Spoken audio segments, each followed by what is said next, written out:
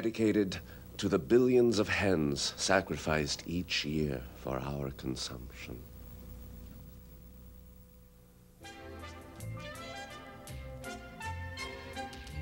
One day, I went to the meat department of Ralph's supermarket and looked at frozen chickens in plastic bags.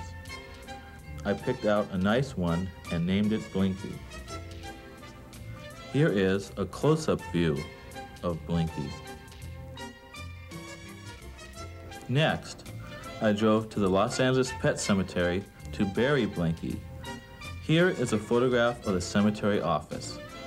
I ordered the complete funeral service, including a powder blue casket with pink satin lining, a lot, interment, flower vase, viewing room, and grave marker.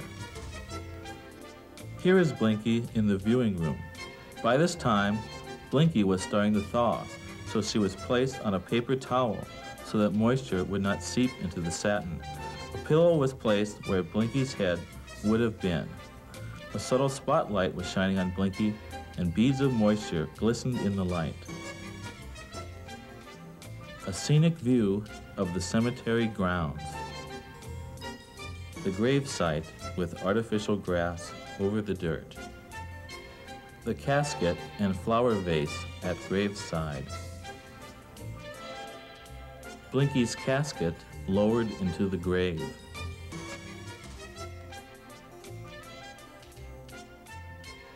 Map of Los Angeles Pet Cemetery and location of Blinky's gravesite. Here is Blinky's granite grave marker. You are welcome to visit Blinky and the peaceful cemetery grounds seven days a week during daylight hours.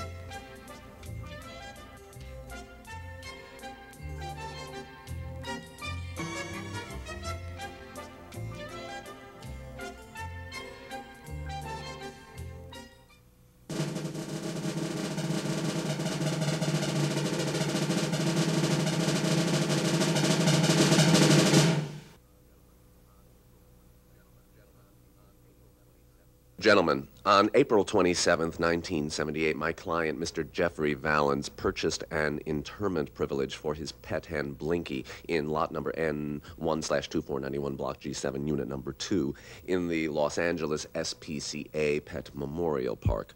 Mr. Vallance would now like to exhume the body of Blinky for the purpose of conducting avian necropsy, autopsy, and lab tests to attempt to resolve certain questions which have arisen concerning the circumstances of his pet's death. Mr. Vallance is prepared to pay for all fees and charges involved in Blinky's disinterment and subsequent reinterment. In order to conduct the test, it will be necessary for Mr. Vallance to remove his pet's body for a period of several days, after which time the remains would be returned for reburial. Mr. Vallance wishes to be present at the cemetery both for groundbreaking at the time of exhumation and at the reburial ceremony.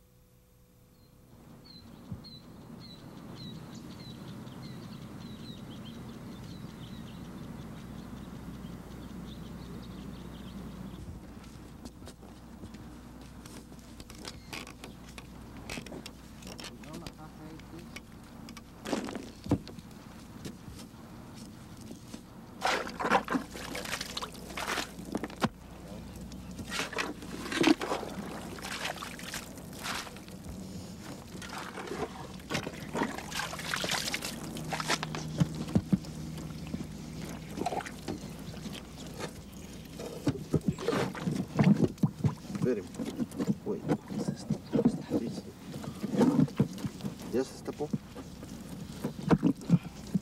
Así métala, mire. Carga para que no cargue la guante.